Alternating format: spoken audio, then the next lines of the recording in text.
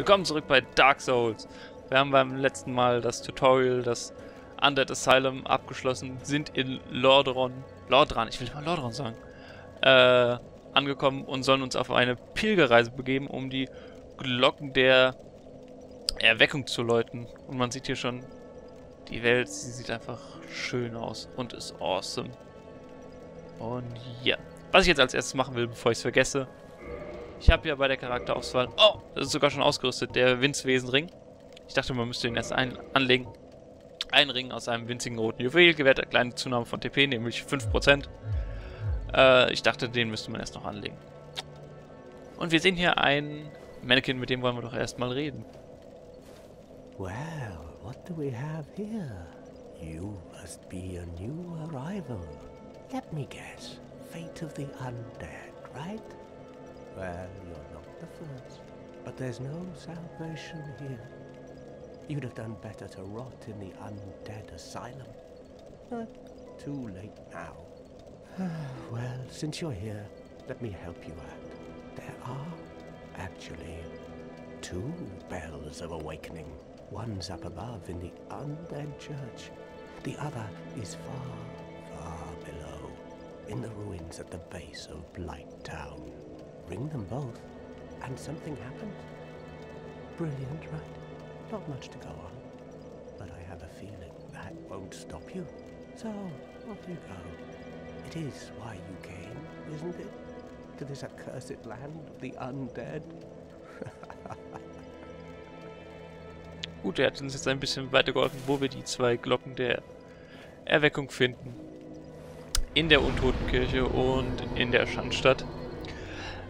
Ich habe ja beim letzten Mal erklärt, dass man an diesen Lagerfeuern rasten kann. Man kann aber auch aufleveln mit den Seelen, die man hat. Wir haben momentan 2200.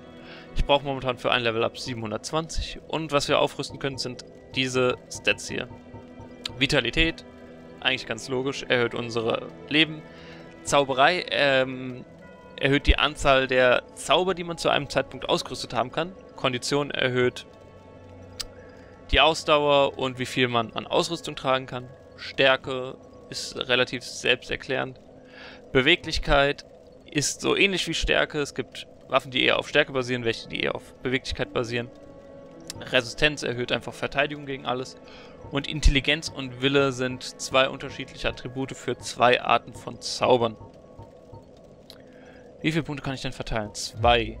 Hm, da stecke ich erstmal zwei in Stärke. Und wir können uns hier noch ein wenig umsehen. Finden hier ein wenig Menschlichkeit. Drei Stück. Die werde ich zu einem späteren Zeitpunkt mal verwenden. Und wir wollen uns hier noch ein bisschen am Feuerlink schreien. Am Feuerband schreien. Es tut mir leid, wenn ich die englischen Begriffe öfters verwende, weil ich die gewohnt bin einfach. Und wir finden hier noch jemanden. Wer bist du denn? Hello there. I believe we are not acquainted. I am Petrus of Thoroland. Have you business with us? If not, I'd prefer to keep a distance, if possible. Nicht unbedingt der netteste Zeit... Kollege... Äh, Zeit... Zeitkollege? Der netteste Kollege für einen Zeitvertreib, meiner Meinung nach. Aber wir reden nochmal mit ihm. Hello there. I realize that I have requested that we retain our distance. But I also want you to know that it is not meant in ill will. Here, take this as a token of peace. No, go ahead. It's for you. Eine Kupfermünze. Ich will aber nochmal mit ihm reden. Oh my, you again. Oh, I know. How about this? I have to await my companions here anyway. So what if I were to teach you some miracles? Would that please you? Aber natürlich. Very well. Then first, a covenant with the gods.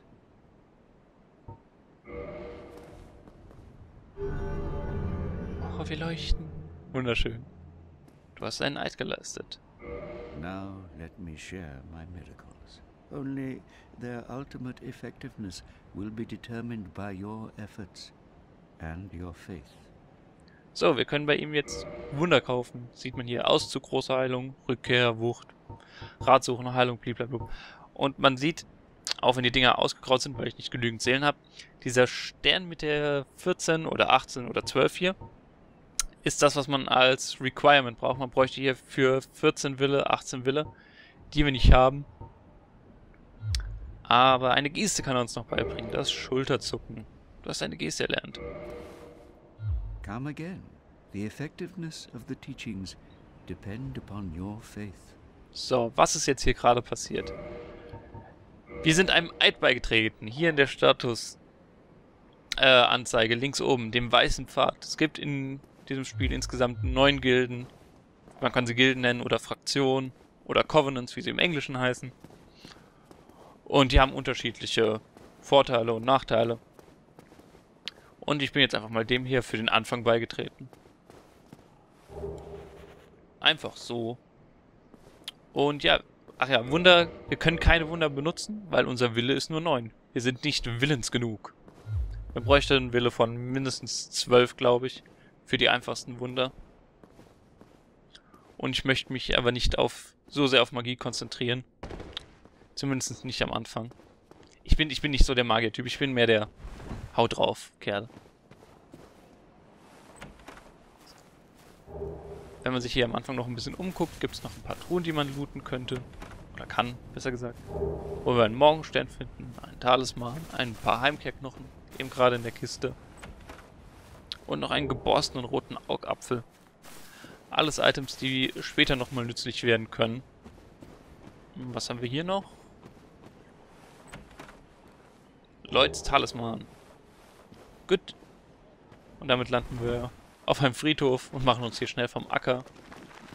Weil Untote, beziehungsweise das sind ja Skelette, es gibt hier in diesem Spiel einen Unterschied, sind nicht ganz so nett, weil die stehen immer wieder auf. Ich möchte aber drüben das Item noch haben, was da rumlag.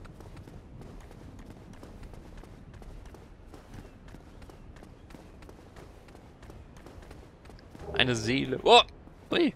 Da ist mir der Gegner noch tatsächlich gefolgt. Ich lasse ihn aber einfach mal hinter mir liegen. Und wir begeben uns dann mal, nach dieser kurzen Vorbereitung, endlich auf den Weg, unser erstes Ziel zu erfüllen. Die Glocken der Erläuterung. Und wir treffen hier auf unsere ersten Gegner, immer noch Untote. Auch die sind aber immer noch kein Problem. Und vor allem sind sie nicht sehr intelligent. Man kann sie einfach angreifen lassen. Der Angriff geht ins Leere. Und dann kontert man einfach. Noch sieht man nichts davon, warum dieses Spiel angeblich so schwer sein soll. Aber die Schwierigkeit... Oh, das war natürlich gerade unfair. Da wirft einer von oben mit Feuerbomben auf mich.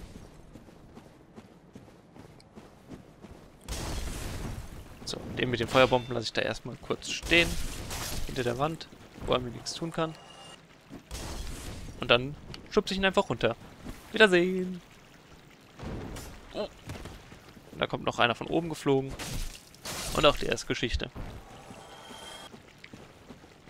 Der Grund, warum dieses Spiel so schwer ist, meiner Meinung nach, liegt nicht nur alleine im Gameplay, sondern es spielen noch viele andere Faktoren mit. Zum einen man hat es vielleicht schon bemerkt, es gibt kein Questlog. Ich kann nirgendwo nachschauen, was immer aktuell meine Aufgabe ist.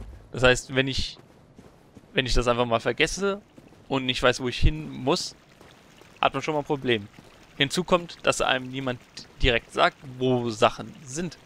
Ich weiß jetzt, wo ich die untote Kirche und Schandstadt finde, aber jemand, der dieses Spiel neu anfängt, weiß das nicht. Und das Spiel ist so offen, dass man direkt am Anfang in relativ viele Gebiete laufen kann, von denen viele, also ich glaube es sind drei Gebiete, in die man am Anfang kommt, und die anderen zwei sind einfach, da soll man nicht hin, weil das eher Gebiete sind für später im Spiel, beziehungsweise sehr spät im Spiel. Außerdem erklärt einem das Spiel nichts bezüglich Spielmechaniken, die muss man alle entweder selbst herausfinden oder nachlesen. Und bei sowas bin ich immer... Hm, dass einem in der Welt nichts erklärt wird, wo was steht, das kann ich ja nachvollziehen. Das ist... Ja, wenn es in der Welt keine, keine Wegweiser gibt oder niemand weiß, wohin es geht, dann ist das so. Aber Spielmechaniken erklären, finde ich, gehört eigentlich schon irgendwie dazu. Ich habe leider gerade noch nichts, um das zu demonstrieren. Was es für Spielmechaniken gibt, die nicht erklärt werden, weil mir da die Ausrüstung fehlt, um das zu demonstrieren. Aber was ich ja mal gerade zeigen kann, ist, wenn wir hier unser Langschwert betrachten, es macht physisch 80 Schaden plus 15. Wo kommen diese plus 15 her? Was sind diese Werte rechts? Nötige Attribute, okay, das ist klar, was da unten ist. 10 Stärke und 10 Beweglichkeit, wenn man die Symbole kennt. Was sind Attributbonusse, die links stehen? Diese Attributbonusse sind, ähm, wie Waffen skalieren mit den einzelnen Attributen, in dem Fall Stärke und Beweglichkeit. Wobei C, ich weiß nicht, wenn ich mich in dem Spiel nicht auskenne, ist C gut, ist C schlecht. C ist übrigens nicht so gut. Das ist wie das amerikanische Notensystem. A ist 1, B 2, also von, von der Qualität her. Je, je höher die Buchstaben, das kann man auch nicht sagen. A ist ein gutes Scaling und D ist schlecht. Und gar kein Scaling, wenn da ein Strich ist, dann skaliert gar nichts. Dann, wenn ich mir mein Schild angucke. Hm, das Schild hat einen Haltungswert von 55. Aber was ist, was ist Haltung? Das wird mir auch nie gesagt. Haltung ist, ähm, wenn ich es jetzt richtig hinbekomme, wie viel Schaden man quasi ab... Boah, das war gerade richtig schlecht.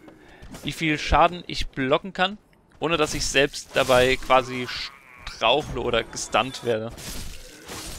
Also mit was für eine Wucht von Angriffen ich abfangen kann, sozusagen. Und dann was gab es noch beim Schild? Die Schadensreduktion. Ein Grund, warum Krieger, oder das habe ich überhaupt gewählt, ein Krieger, glaube ich, eine sehr gute Anfangsklasse ist, weil er dieses Schild hat mit 100% physischer Schadensreduktion, wenn ich blocke. Das heißt, wenn ich blocke, bekomme ich keinen Schaden von Angriffen, die ich geblockt habe. Es gibt aber auch Schilder, bei denen das der Fall ist und dann kommen 10 bis 20% des Schadens, den ich genommen hätte, kommt immer noch durch. Aber so was wird einem nie erklärt was mir beim ersten Durchspielen durchaus nicht Probleme bereitet hat, aber Fragen aufgeworfen hat, wenn es darum geht, was für Waffen rüste ich denn überhaupt aus. Und wenn ich hier, hier durchgehe, ohne viel zu erklären, gerade was, was ich eigentlich mache, liegt das daran, dass das auch nicht so interessant ist und ich lieber Wert darauf lege, eben gerade diese Spielmechaniken zu erklären, damit ihr wisst, für die, die es noch nie gespielt haben, warum ich was mache und wie dieses Spiel funktioniert. Falls ihr mal vorhabt, es selbst zu spielen und alle, die das Spiel kennen, wissen selbst, dass hier noch nicht so viel Action ist. Und ich mache gerne diese Kisten kaputt, auch wenn ich jedes Mal weiß, es ist nichts drin. Aber da kommt so ein bisschen der Zelda-Spieler durch. Diese, diese weißen Neben Nebelwände, ein ganz schön schwieriges Wort, ähm, grenzen immer bestimmte Level, könnte man sagen, ab. Sind immer oder Level ein bzw. Ausgänge, die in Zusammenhang mit einer anderen Spielmechanik, die einem nie erklärt wird, äh, wichtig werden. Und, oh! Ja, eine Bekanntschaft mit einem der Drachen. Die es hier schön in diesem Spiel gibt. Ich weiß gar nicht, wie viele Drachen es insgesamt sind, aber es sind mehr als nur dieser eine, das kann ich schon mal sagen. Oh. Und ich stelle mich gerade doof an. Man muss eigentlich bei den Angriffen immer nur warten, bis die Gegner angegriffen haben und dann selbst kontern. Und man, man braucht einfach ein wenig Geduld. Man darf nicht einfach blindlings in den Kampf reinrushen und dann Schaden kassieren. Aber was wirklich auch wieder dem Schwierigkeitsgrad beiträgt, man merkt es vielleicht, das sind die ersten Standardgegner, sie können nicht viel, sie machen nicht viel, sie sind einfach, aber sie machen jetzt schon relativ viel Schaden dafür, dass es so einfache Gegner sind. Ich meine, das waren jetzt zwei Treffer und ich habe, äh, ja gut, die Hälfte meines Lebens verloren. Die ich auch direkt mal wieder auffrische. Und wir haben eben gerade ein, äh, wie hieß es? Ein Höhlensoldaten-Lendentuch gefunden. Und hier kann ich mal ein bisschen was zur Rüstung erklären. Man sieht, äh, Rüstungen haben mehr, mehrere Werte. Das erste ist die physische Rüstung, danach kommt die magische, danach Feuer und dann Blitz, dann die, der große 200er Wert ist die Robustheit und das letzte ist das Gewicht. Was hat das Gewicht für einen Einfluss? Einen sehr entscheidenden. Und da war ich wirklich genervt, dass das nicht erklärt wird. Man sieht hier in der mittleren Spalte relativ weit oben Belastung. Das ist das, was wir tragen können. Momentan haben wir Sachen ausgerüstet, die insgesamt 21,4 Kilos wiegen und von maximal 52, die wir ausrüsten können. Man sieht, wenn ich jetzt so eine Ausweichrolle mache, ist das so, wie soll, ich sagen, so, so, so eine normale Schulterrolle. Diese Art des Ausweichens verändert sich aber, je nachdem wie viel man ausgerüstet hat. Und das so sieht man übrigens aus, wenn man nackt ist und untot. Sehr ansehnlich. Jetzt habe ich relativ wenig Belastung. Nur noch 5. Und meine Rolle verändert sich. Ich habe jetzt so eine richtige Hechtrolle. Und diese Art der Rolle, die man hat, ist abhängig davon, wie viel Gewicht man trägt. Und das ist echt entscheidend. Denn das kann das komplette Gameplay verändern. Man muss dann halt bei seiner Ausrüstung, sobald man später ein bisschen mehr hat, darauf achten, was will ich haben? Will ich mehr Verteidigung haben und bin dafür unbeweglich? Zum Beispiel, ja, man hat ja gesehen, diese, diese, boah, das war schlecht, diese Hechtrolle, ich kann damit natürlich viel größere äh, Ausweichdistanz zurücklegen, als nur mit dieser Schulterrolle. Aber das geht natürlich auch nur mit leichter Rüstung. Wie man sich denken kann, leichte Rüstung hat weniger Verteidigungswerte. Und das ist echt wirklich entscheidend. Vor allem alles an. Es ist ja nicht nur die Rüstung, auch die Waffen, die man trägt, hat ein Gewicht. Und man kann, man kann zwar zwei Waffen ausrüsten, beziehungsweise in linker und rechter Hand jeweils zwei Gegenstände tragen, aber die tragen ja auch zum Gewicht bei. Und da muss man wirklich abwägen, was man anlegen will. Und hier haben wir einen Untoten, der mal nicht bösgesonnen ist. Wir haben nämlich den ersten Händler im Spiel gefunden. Then you are a welcome customer. I trade for souls. Everything's for sale. Ein sehr sympathischer Genosse. Gegenstand kaufen. Was hat er denn? Reparaturpulver, Wurfmesser, Bomben, Lloyds Talisman und einen orangenen Führungsspeckstein. Den wollen wir uns auf jeden Fall mal kaufen. Was hat er noch? Den Anwesenschlüssel. Den bräuchte ich eigentlich. Und hier können wir uns einige Waffen kaufen, wenn wir wollt, wollen würden bin sogar gerade geneigt, ein Speer zu kaufen. Oder Schilde. Mh, hm, Pfeile und eine Rüstung. Man sieht ja schon, die Rüstung bietet relativ viel Schutz für den Anfang, wiegt aber auch einiges. Und die würde mich dann wieder in meiner Beweglichkeit beeinträchtigen. Hm. Hm, hm. hm. Ich überlege gerade, Speer. Ne, Speer findet man noch später. Aber diesen Anwesenschlüssel hätte ich gerne. Thank you kindly. ja, ich kann noch ein bisschen was zu gerade zu dieser Ausweichrolle sagen, weil ich das sehr wichtig finde. Wie das Ganze nämlich funktioniert, und darauf werde ich auch hinarbeiten erstmal. Ähm, solange man unter 25% diese, der seiner maximalen Belastung ist, die man anhaben kann, also in diesem Falle 25% von 52 müsste irgendwas mit 13 sein.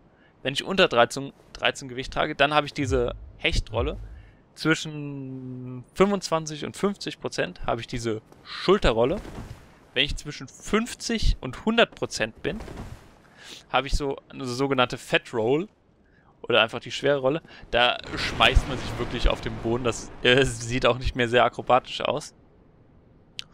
Und wenn ich über 100% meiner maximalen Auslastung bin, kann ich mich gar nicht mehr rollen und ich kann ähm, ich kann auch nicht mehr rennen. Und da muss man halt abwägen, was man haben möchte. Und das war jetzt viel Gerede über Spielmechaniken für diese Folge und ich beende sie an diesem schönen Leuchtfeuer. Und wir sehen uns das nächste Mal bei Dark Souls. Bis dann.